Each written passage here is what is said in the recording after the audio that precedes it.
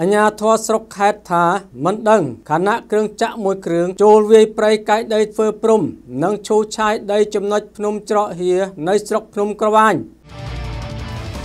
Boost Strong Power Plus. Power to win.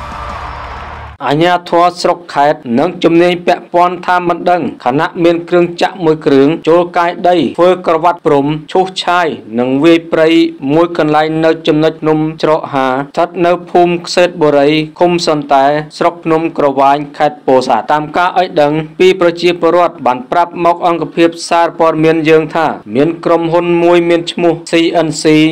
មេហាវបានចូលជីកកកាយធ្វើព្រំនិងវាយព្រៃតែមិនដឹងមានច្បាប់អនុញ្ញាតឬក៏ធ្វើអ្វីទេ តែបើតាមការឲ្យដឹង ពីខាងអ្នកបកប្រែឲ្យចិនឈ្មោះចាំងដែលស្ថិតនៅចំណុចដីព្រៃខាងលើបានប្រាប់មកអ្នកសារព័ត៌មានយើងថាក្រុមហ៊ុននឹងចូលវាយចំនួន200ហិកតាហើយមានច្បាប់អនុញ្ញាតត្រឹមត្រូវតែលោកមិនអាចបញ្ចេញឈ្មោះឬច្បាប់អនុញ្ញាតនោះឲ្យបានទេបើចង់ដឹងតំណាក់តំណងទៅសួរសូរិយោដីខេត្តទៅ ក្រុមការងារសារព័ត៌មានយើងបានតំណាក់តំណងសួរទៅលោកអភិបាលស្រុកភ្នំក្រវាញហេងសុភាណាពាក់ ព័ន្ធនឹងការកាយដីវាយព្រៃនេះតែលោកថាមិនបានដឹងនោះទេ ចាំឲ្យមន្ត្រីជំនាញចុះត្រួតពិនិត្យមើលដោយគ្រាន់តែកន្លងមកមានបងប្អូនប្រជាពលរដ្ឋបានប្តឹងមកដែរដោយឡែកបើតាមលោកជេងឡៃអភិបាលរងខេត្តពោធិ៍សាត់បានឲ្យដឹងថាពាក់ព័ន្ធនឹងក្រុមហ៊ុនដូចខាងលើនេះលោកមិនបាន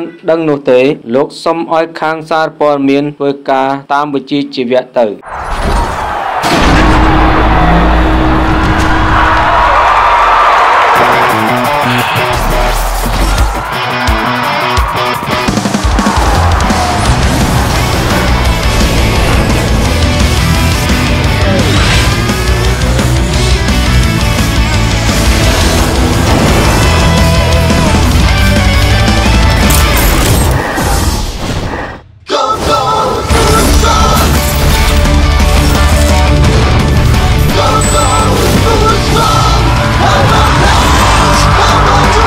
Strong Power Plus. Power to win.